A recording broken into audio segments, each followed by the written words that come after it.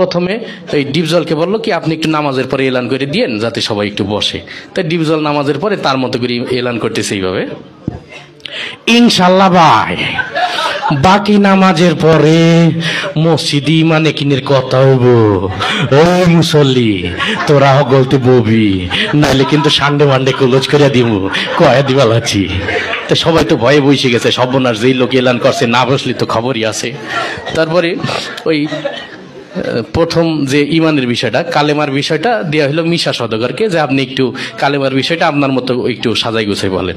তাই মিশা সদগর কালেমার বিষয়টা বলতেছে এইভাবে।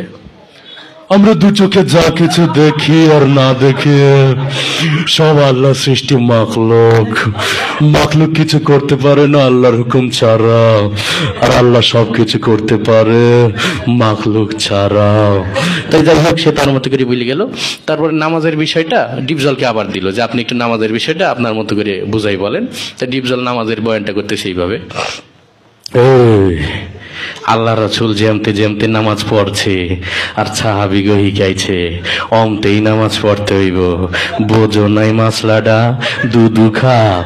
ওই এরা নামাজ হিকাই দিবি। যাই হোক, সে তার মতো করে বললেও, তারপরে জিকিরের বিষয়টা দিয়ে হলো কাবিলাকে। যে আপনি একটু আপনার মতো করে কি জিকিরের বিষয়টা একটু বুঝাই বলেন। তাই কাবিলা জিকিরের বয়ান করতেছে এইভাবে। ওর হালতে মাওলা পাকে জিকির তোমার দেলের ভিতরে টাস টাস দিয়ে বাজতে থাকবে। জিকির হইলে যদি তুমি কবরের ভিতরে হান্দাই পারো, তাইলে তো বাইসি গেলা। আর জিকির না হইলে কবরে হান্দাইলে ফেরেস তারা তোমার চোদ্দ শিখের ভিতরে হান্দাই দেবে। যাই হোক, সে তার মতো করে বলে গেল। তারপরে একরামুল মুসলিমিন, মুসলমান পরস্পর হৃদ্যতা, ভালোবাসা, এটা দিয়ে হইল নায়ক ওমর সানিকে। তো ওমর সানি তার মতো করে বুঝাই বলতেছে এইভাবে, একজন মুসলমান আরেকজন মুসলমানের দুঃখ কষ্ট ভাগাভাগি করে নেওয়ার নাম একরামুল মুসলিমিন। চৌধুরী সাহেব আমরা গরিব হতে পারি। আপনার মতো বদিন নই। আমি গত মাসেও তিন তিল্লা দিয়েছি। যাই হোক সে তার মতো করে বলল এরপরে ওই সহিনিয়ত আমরা যা কিছু করব একমাত্র আল্লাহকে রাজি খুশি করার জন্য করব। এটা দেওয়া হইল নায়ক মান্নাকে। মরহুম মান্না এসে তার বয়ানটা করতেছে এইভাবে। আমরা আমরা যা কিছু করব পৃথিবীর কোন মানুষকে খুশি করার জন্য করব না।